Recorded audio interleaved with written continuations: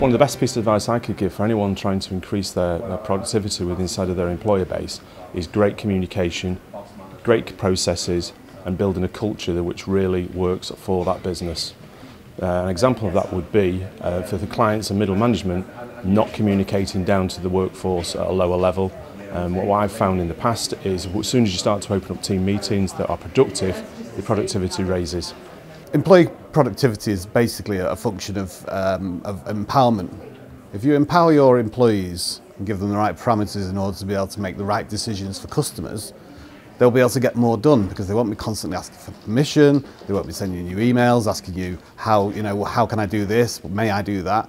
If, you if you trust your employees and you believe that they're going to act in the best interest of your customers, then empower them to do so and they will get along much more than if they're constantly having to refer back to a managerial um, um, layer in the organisation. So really, give them empowerment, give them some uh, tolerances within which to work and then let them get on with it. yeah, you'll find they'll do an awful lot more as a result of doing that.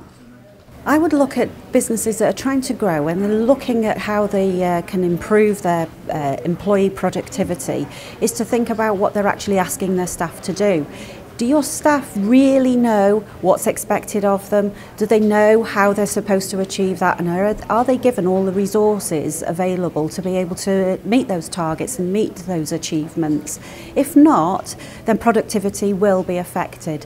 There's lots of great things you can do to encourage and empower your staff, to give them more responsibility where it's needed, and to reward them And rewards don't have to be monetary. They can be little things like having a duvet day. Uh, it all makes a huge amount of uh, uh, enthusiasm and uh, creating that buzz within the team. And that's what I do here, is to try and get all my team fired up about what they're, what they're going to do and how they're going to do it. But they all know what they've got to do. Productivity is sometimes a bit of a, a bit of a bane of a small business's life. Uh, you, you are looking at it's more than just giving people having skills, it's how they utilize them and deploy them within the, within the business for the benefits of the business. So three key areas I would look at for increasing employee productivity would be around have they setting clear goals, have they got a clear understanding of what their role is within the business, is are their objectives smart, are they measurable, uh, are they achievable, uh, and are, are their objectives evaluated? I think every employee who feels that they've got a, a, a place to fit and a, and, a, and, a, and, a, and a place to be within the business is, is, is, a, is a better environment to, to operate, creates a better environment to operate in. The, the second the second point would be around sort of training programs and and, and, and development programs of our employees. Uh, it's often an area overlooked by by by small to medium sized enterprises that but it's obviously a valuable it's clearly a valuable uh, benefit to to them Um, so whether how again how we look at formal training, specific training, on the job training, it can be making time within the day to take out the time and study around industry briefings or the sector that you're operating. Just making that time to create a formal uh, environment for for training and learning for the employee. Um, And, and the sort of third area will be around the being able to provide feedback, evaluation and constructive criticism. I think that's a really important key where you, where you, where you build it, getting the most out of your, out of your staff. Um, undertaking appraisal processes, uh, giving positive feedback uh, and, and constructive criticism in a positive manner to again build the, build the confidence and build, build the uh, sense of well-being of that employee within the workplace creates a better, a better environment.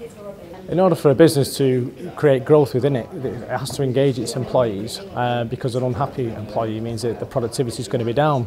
So really they need to consider uh, how they are within the business and making sure that they're doing the right role um, and that they're engaged. And they might look to possibly do things outside of work, uh, do you know, team building events or perhaps go out on a night out or something. Um, but also maybe do an employee opinion survey uh, just to gauge how they actually feel within the role and what they think of the management.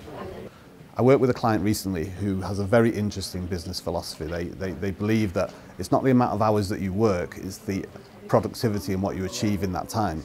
So they have very short, shorter days than most businesses would have.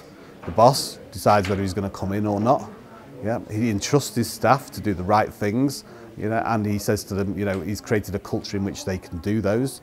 He's set up very customer focused processes so that the customer feels that they've been well attended to on a very personal level and, and it's working very well. All the staff are very happy, they've seen the contribution they're making and they're getting excellent customer feedback from having that parameters, those, those um, cultural elements in order to be able to do the very best they can for the customer.